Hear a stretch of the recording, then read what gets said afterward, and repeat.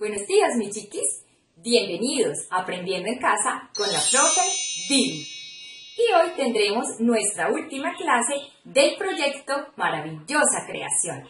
Pero seguiremos, seguiremos aprendiendo más en un nuevo proyecto. Así que no se pierdan las siguientes clases. Para comenzar, quiero saludar a todos los niños y a todas las niñas que han estado observando estas clases. Les mando abracitos fuertes de oso y besitos de chocolate. Y quiero que nos saludemos cantando la canción Buenos días amiguitos, ¿cómo están? Buenos días amiguitos, ¿cómo están? Muy bien. Es este un saludo de amistad. ¡Qué bien! Haremos lo posible por hacernos más amigos. Buenos días, amiguitos, ¿cómo están? Muy bien. Excelente. Y ha llegado un momento que les gusta mucho, y es el momento de los cantos. Hoy vamos a escuchar una linda canción que nos recuerda todo, el, todo lo hermoso que Dios creó.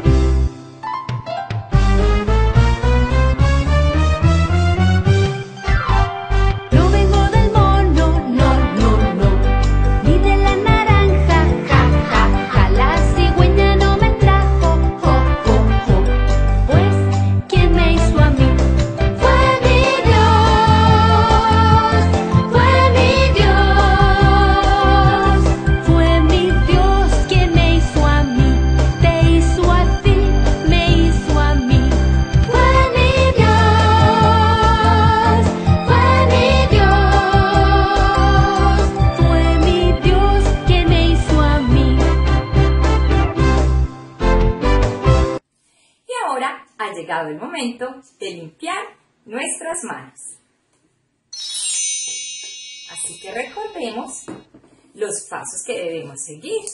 Esparcimos por todas nuestras manos, entre los dedos, en las uñitas, haciendo circulitos y cada uno de nuestros deditos.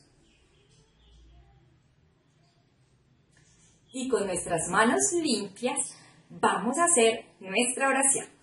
Saco mis manitos, las pongo a bailar, las abro, las cierro y las vuelvo a guardar. La una se sale y la otra la sigue y juntas se forman para orar. God made the sun. God made the trees. God made the flowers. God made me. Thank you, God, for the sun. Thank you, God, for the trees. Thank you, God, for the flowers. Thank you, God, for my family and me. Amen. Y hoy la dije más rapidito porque sé que ya se la aprendieron y la dijeron a la par con la profe Vivi. Bueno amigos, y en la clase anterior hablamos de cómo Dios creó al primer hombre y a la primera mujer. Sí, Adán y Eva. Cuando Dios creó a Adán y Eva, también creó las familias. Dios estaba muy contento, pues en familia nosotros podemos jugar, conversar, convivir y sobre todo sentir mucho amor. Y saben, tener una casa donde vivir es muy importante. Dios les dio a esta pareja una casa donde vivir. ¿Saben cuál era? Era el hermoso jardín del Edén, donde Dios había puesto cosas hermosas, plantas, flores, árboles, animales, ríos, mares, deliciosas frutas para comer. Ese era el hogar de esta pareja. Cuando Dios creó los animales, también les dio una casa donde vivir. Por ejemplo, a los peces les dio los arrecifes en el mar, ¿verdad? A los animales terrestres, Dios les dio sus madrigueras y sus cuevas para que fueran su casa. Y a las aves, Dios les dio sus árboles para que construyeran los nidos. Cada uno tenía su propia casa. Así que Dios también quería que Adán y Eva estuviesen contentos con su nuevo hogar. Así que en ese sexto día, Dios acompañaba a Adán y Eva. Ya era la tarde del sexto día y todo estaba perfectamente terminado. El césped verde tenía un rico aroma. También se escuchaba el sonido del agua que corría por las cascadas y por los ríos. Se podía percibir el olor de las frutas en los árboles. La creación llegaba a su fin. Así que en el séptimo día todo estaba terminado. Sí, llegó el día séptimo, que será el tema de hoy. En este día Dios estaba feliz por todo lo que había creado. Él vio todo lo que había hecho y le pareció hermoso. Así que Dios le dio su bendición. Este primer sábado debió ser muy hermoso. Adán y Eva estuvieron platicando con Dios. Debieron hacerle muchas preguntas sobre toda esa semana llena de trabajo que había tenido Dios. A este séptimo día, Dios le llamó sábado. Entonces, Dios santificó el séptimo día, el sábado. Y él no descansó ese día porque se sintiera cansado, sino porque él deseaba que nosotros pasáramos un tiempo especial con él. En ese día podríamos darle gracias a Dios por todas sus bendiciones. Adán y Eva seguramente estuvieron muy agradecidos con Dios y conversando con él cara a cara pudieron darle las gracias por la hermosa creación que había hecho. Dios puso árboles, plantas, puso hermosas flores, también diferentes animalitos en el agua, los terrestres, también creó las lindas aves, pero en especial Dios hizo a Adán y a Eva para que disfrutaran de toda esta hermosa creación y para que tuvieran una familia para poblar el mundo que recién se había hecho. Dios bendijo a esta familia para que tuviesen muchos hijitos. ¿Saben? Dios creó este mundo porque te ama a ti y porque me ama a mí. Amigos, cuán grande y poderoso es Dios. Él nos ama tanto que creó la tierra para que nosotros estuviésemos felices. Bueno, y con este proyecto hemos aprendido muchísimas cosas, ¿verdad? Lo que Dios creó en cada día de la creación. Aprendimos sobre las plantas, sobre los animales, sobre el agua, la luz. Aprendimos muchísimas cosas. Pero algo importante que aprendimos fue sobre los números ordinales. ¿Y cuáles son esos? Los que nos indican la posición del número. Es decir, aprendimos que Dios creó este hermoso mundo en seis días, ¿verdad? En el día primero, segundo, tercero, cuarto, quinto y sexto.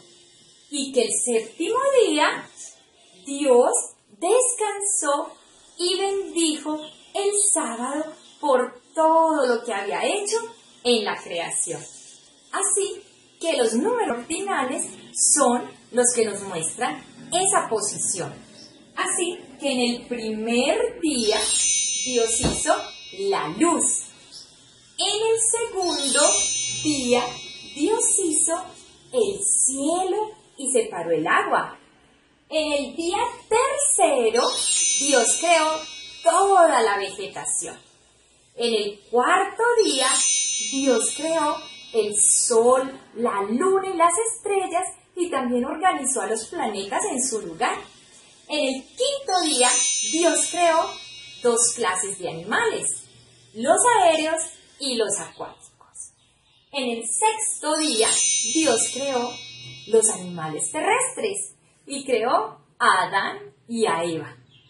Y en el séptimo día, Dios descansó de todo lo, lo, que había hecho en la creación y a este día lo llamó sábado. Así que llegamos hasta el séptimo día, ¿verdad? Pero quiero hacer el ejercicio con ustedes hasta el 10. ¿Cómo se llamarían los que siguen? Vamos a aprender. Primero, segundo, tercero, cuarto, quinto, sexto, séptimo, octavo, noveno y décimo. Sí, el décimo sería para el número 10. Así que el día de hoy les tengo una tarea muy interesante. Vamos a observar esta imagen. En esta podemos ver diferentes imágenes donde están algunas cosas que Dios creó cada día de la semana. Así que nosotros debemos recordar a qué día le corresponde, si al primero, al segundo, o si lo hizo en el tercero, en el cuarto, en el quinto, o si lo hizo en el sexto día. Así que vamos a observar cada imagen y vamos a ir con una liniecita hasta el número que corresponde. Sí, cada línea la vamos a poner de un color diferente. Y de ese color vamos a colorear el número en el cual Dios creó lo que aparece en esa imagen. Y aparte de los números ordinales, que son los que nos muestran la posición de ese número, también aprendimos los números cardinales, que son los que nos sirven para contar, para saber la cantidad de elementos que hay en un conjunto determinado, ¿verdad? Aprendimos el número 1, el número 2, el número 3. Miren, Ahí se va mostrando la cantidad con los deditos. El número 4. También aprendimos el número 5. El 6. Aprendimos también el número 7. El número 8. El 9. Y hoy aprenderemos el número 10. Sí, Hoy vamos a aprender la rima del número 10, así que estemos muy atentos porque aquí se las mostraré. Diez luciérnagas en aquella parra, nueve se encienden y una se apaga. Repitámosla de nuevo. Diez luciérnagas en aquella parra, nueve se encienden y una se apaga. Muy bien, este es el número 10 está conformado por el número 1 y por el número 0. Y ese es el 10. Miren, 10 deditos que tengo en mi mano. Así que vamos a hacer esta divertida actividad. Les voy a mostrar una imagen muy linda donde aparece algunas de las cosas que Dios creó en esta maravillosa creación. Así que observen ahí en pantalla. Podemos observar un lindo cielo azul con algunas nubes. También hay estrellitas que Dios creó en el día cuarto. También podemos ver algunas flores hermosas sobre el césped verde. Se ven algunos animales terrestres y también vemos algunos acuáticos sí, los que están en el mar. Y vemos también algunos aéreos que aparecen en el cielo. La actividad consiste en que miremos cada grupo de estas cosas hermosas que Dios creó. Así que vamos a contarlas. Y allí en la parte de abajo podemos observar los números hasta el 10. Sí, debemos buscar cuál es el número que corresponde a cada grupo de las imágenes. Así que comencemos. Vamos a contar cuántas nubes hay en el cielo. Sí, Dios creó el cielo hermoso en el día segundo. ¿Cuántas nubes hay? Observemos los números. Correcto, hay tres nubes. Vamos a, seguir observando el lindo cielo. Y Dios en el día cuarto creó hermosas estrellas. ¿Cuántas vemos en esta imagen? Vamos a contarlas. Una, dos, tres, cuatro, cinco, seis, siete, ocho, nueve, diez. Sí, el número que aprendimos hoy. Este es el número diez. ¿Y cuántas personas creó Dios el día sexto?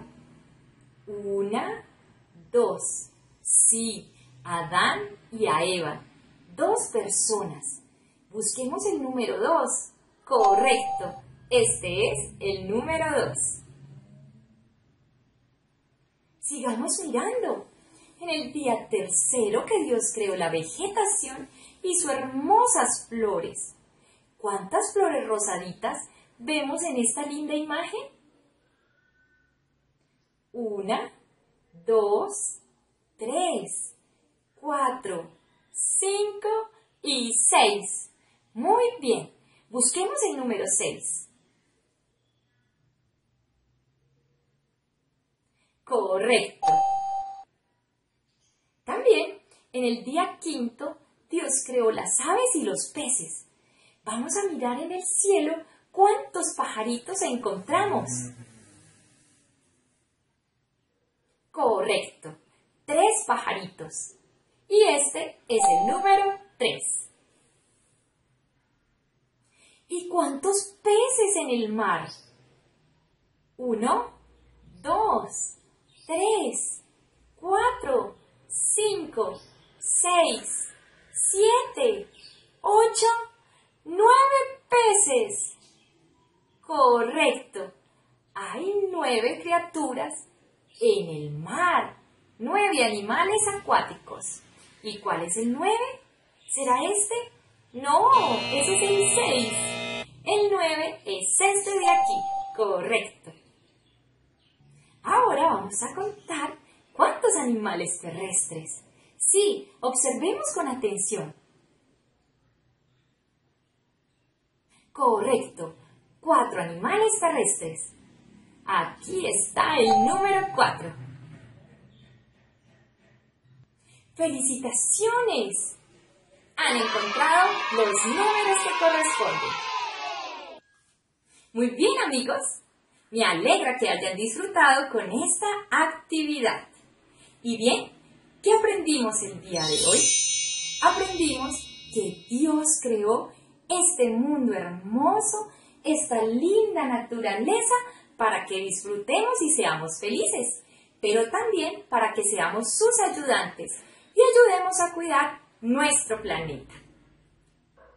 Recuerden ingresar al blog 123clickporme.simplesai.com. Allí encontrarán la ficha de la tarea de hoy para que llevemos a cada imagen hasta el número que corresponde, sí, al día de la creación. Y vamos a despedirnos cantando Chao Goodbye. Chao Goodbye, adiós, adiós. Nos vemos otro día cuando salga el sol.